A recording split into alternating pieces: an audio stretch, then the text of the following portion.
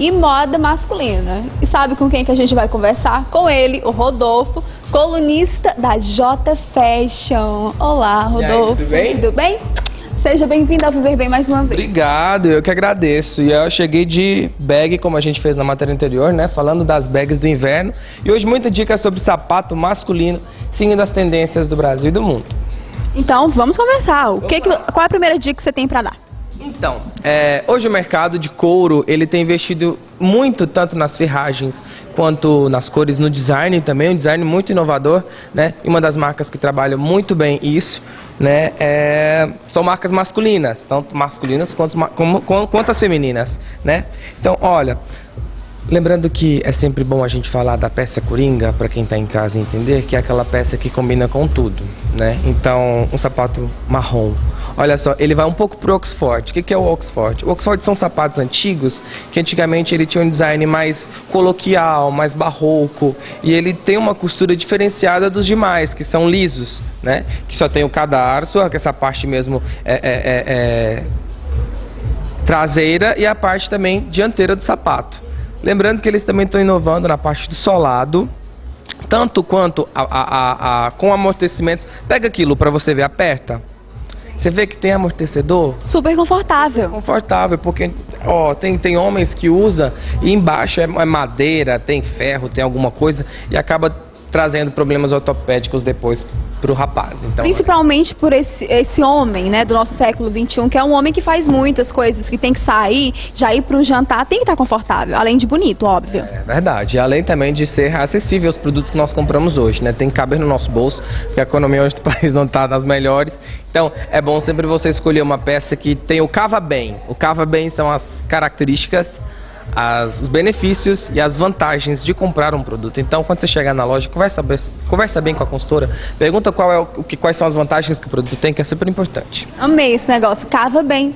Repete de novo que eu gostei, gente. Tem que essa dica a gente tem que levar. Vamos fazer então o seguinte, a edição aí vai colocar embaixo cava bem.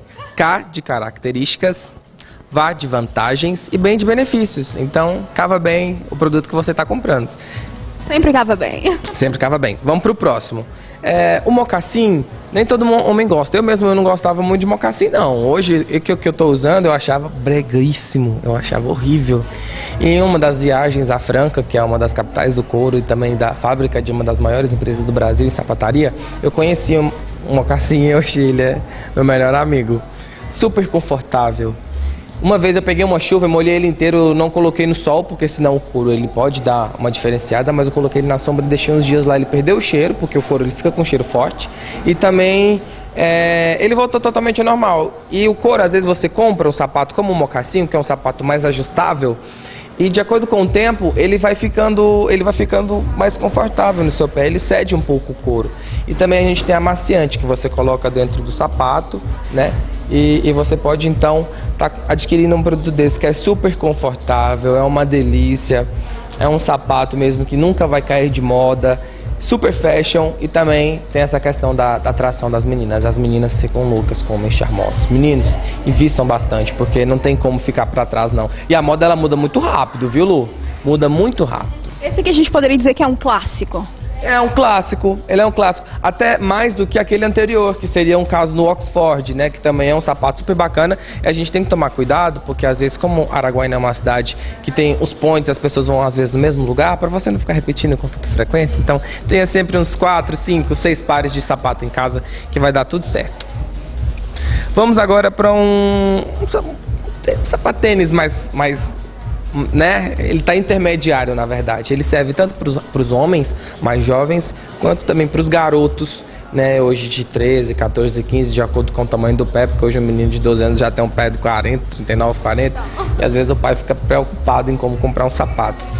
Então, a gente avalia a seguinte forma: as cores, a gente está na, na, na estação do inverno, que é uma cor super interessante, cores que você vai pegar a chuva e às vezes o sapato pode pode é, é, é, trazer um, um, dano a esse produto. Ainda mais esses sapatos que às vezes são de camurça, são de couro, que são sapatos complicados. Sapato de homem é, é, é difícil, não é fácil.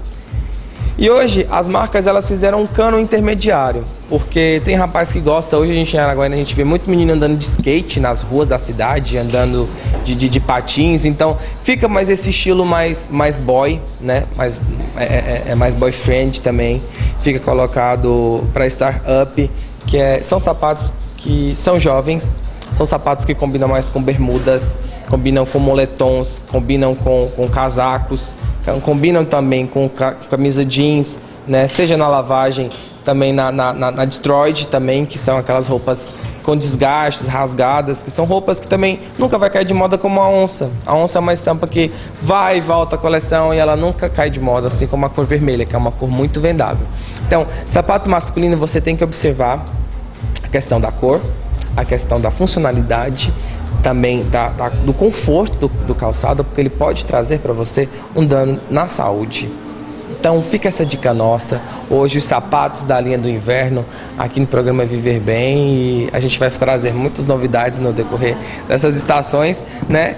Lu, agradecer o programa, agradecer Fabi. Um beijo, muito obrigado por essa oportunidade maravilhosa de sempre estar com vocês. Então, o homem moderno que quer se vestir bem, calçar bem, né? Tem que ter um modelo legal que combine com ele e também que seja confortável, como a gente mostrou, né, Rodolfo? É, amiga, a gente tem que colocar um sapato mais confortável, colocar também sapatos que caibam no nosso bolso, né? Porque a gente tem que olhar pelos, pelos dois lados, tanto pelo do lado da vantagem quanto do lado do benefício de adquirir aquele produto. Então, às vezes você está aí perdendo a cabeça, está quase para ficar doido, caçando um sapato e às vezes está ali, pertinho de você.